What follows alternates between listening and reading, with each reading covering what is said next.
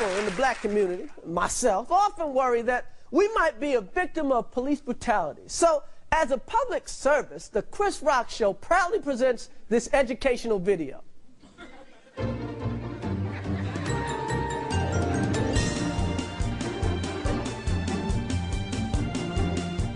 Have you ever been face to face with a police officer and wondered, is he about to kick my ass? Well, wonder no more. If you follow these easy tips, you'll be fine. First, obey the law. Laws were made for a reason. Think of them as hints. You've heard people say, man, I wouldn't do that shit if I was you. Well, here's some of that shit. Carjacking, armed robbery, arson, selling drugs, buying drugs, stabbing, shooting, you know, you probably won't get your ass kicked if you just use common sense. If you jump a subway turnstile, you might just get off with a warning from the police.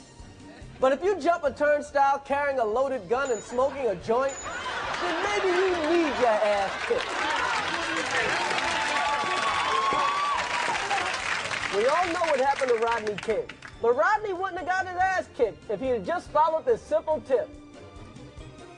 When you see flashing police lights in your mirror, stop immediately. Everybody knows, if the police have to come and get you, they're bringing an ass kicking with them.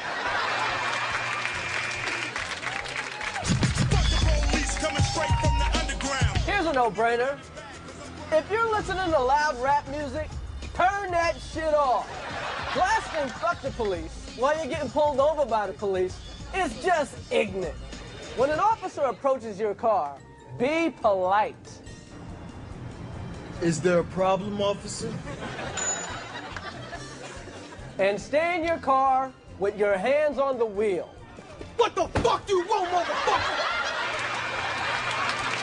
Unless you want your ass kicked. Want to give a friend a ride? Not so fast. Your friend might be crazy. Now, before you let your friend in your car, ask them these questions. Do you have a gun? Do you have drugs? Do you have any warrants? And in case you do get pulled over by the cops, license and registration, please.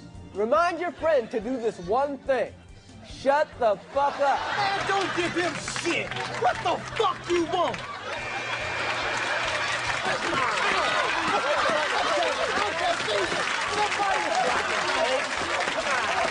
If you have to give a friend a ride, get a white friend.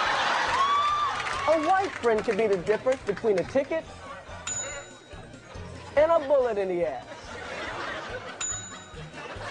Here's a tip you should never forget. If your woman is mad at you, leave her at home. Because a mad woman will say anything. He got weed! He got weed! If your woman is mad at you, there's nothing she'd like to see more than you getting your ass kicked. That's right! Kick his motherfucking ass! Like a dummy shut up your mouth. Take his weed too! He got weed! He got weed! Obey the law. Use common sense. Stop immediately. Turn that shit off. Be polite. Shut the fuck up.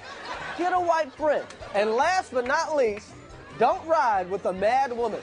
If you follow these simple pointers, you probably won't get your ass kicked by the police.